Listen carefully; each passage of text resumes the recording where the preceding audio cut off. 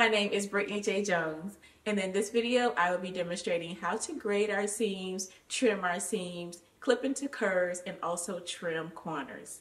Let's get started. To demonstrate how to trim seams, clip into curves, trim corners, we're going to be using these pieces of fabric here. It is important to trim your seams while you are sewing. It helps to reduce the bulk in your garments and it allows the seams to lay nice and flat once you press them. So trimming is very important when you are sewing your garments. The first thing that I'm going to demonstrate is layering your seam allowance. So if you're working with some bulky fabric, if you just trimmed it all the same size, you're only shortening your seam. It's not reducing the bulk, you're just making it smaller.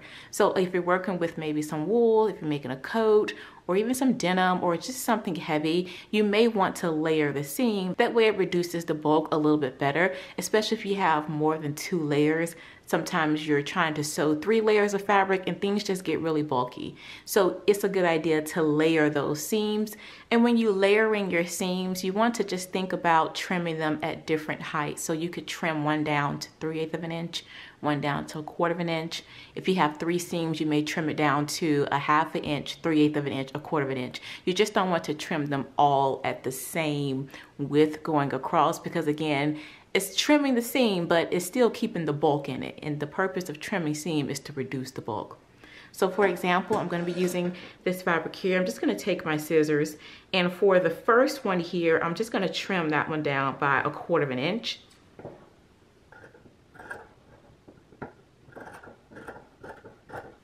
Okay, now that I have trimmed the first one down, I can go even shorter with this one here. Again, you just want to layer the seams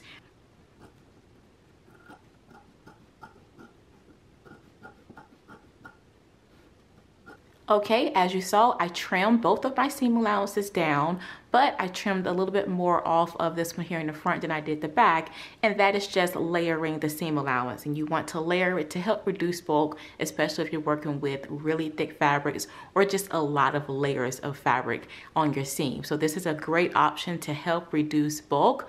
So this is a great way to trim your seams to help reduce bulk. The next seam that we're going to trim is one that has a point. So to trim a point, you want to grab your scissors and we're just going to trim it down.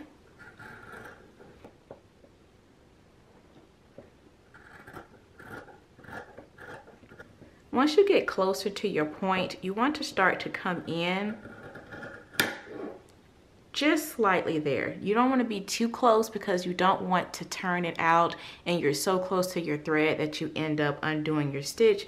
But you do want to get a little bit closer as you get to the point than you have been in your trim leading up to it.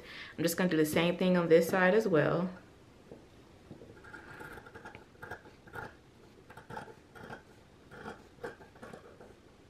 Okay, I've trimmed a little closer here. And then across your point, you want to cut off the tip. I'm going to turn this out to take a quick look at what that point will look like once we turn it right side out. So this is what the point will look like once you flip it right side out and then you can give it a nice press. So on the inside here, let's take one more look at it. So again, with trimming this corner, I started trimming down my seam to about a quarter of an inch. And as I got closer to the point, then I came in a little bit more so toward the point. And at the tip of the point, you just want to cut off that tip. If I did not do any of that trimming, then once I turn this right side out, I would not have a really nice, clean, sharp looking point here on the end of the garment that you're creating. So again, make sure that you are trimming and reducing the bulk up here so that when you flip it right side out, you will have a nice clean point. The next one that we're gonna look at is clipping inner corners. So this right here would be an inner corner. This is similar to a facing. So when you see this, you want to clip into your inner corner. You also want to trim it down. So I'm gonna trim it down because this is 5 eighths of an inch. So I just wanna trim some of that off.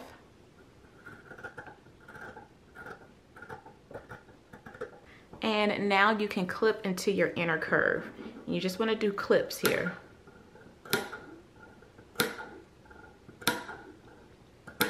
Okay, once you have clipped into your inner curves, You can see here my clips here.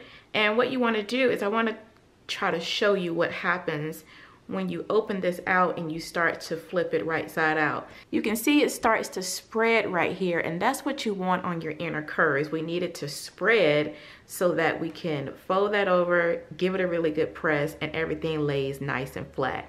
Now, if you didn't clip into it, then it would kind of be still pulling and tight right here. So it's important to make sure that you not only trim your seam, but you also clip into your inner curves so that the fabric gives and spreads like so, and then you're able you're able to press it over and you will have a really nice, clean, flat seam. The last one that we're gonna take a look at is your outer curves. For these curves, we want to notch them. We don't want to clip these. We clip the inner curves, but we want to notch these outer curves like so. To do that, first I'm going to trim down my seam.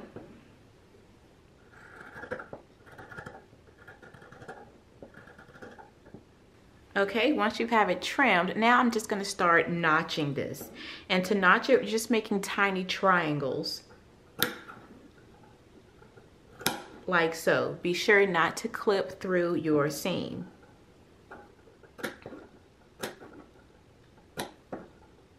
Okay, once we have notched the outer curve, this is what this one looks like when we get ready to turn it in. So instead of spreading like the inner curve did, this one here, it kind of all just goes down into the curve. And so you want to take out as much of fabric as you can. That's why we clip some of it and take it out. If we didn't do that, it'll be a lot of bumps and ripples in here. It's important that you notch into them and remove that bulk out. So once you have it notched out, then your seam will lay nice and flat and you'll be able to give this a press and you have a nice curve. I hope you've enjoyed this demonstration on why it's important to trim your seams as well as the different types of trimming, grading, and notching that you will see while sewing patterns.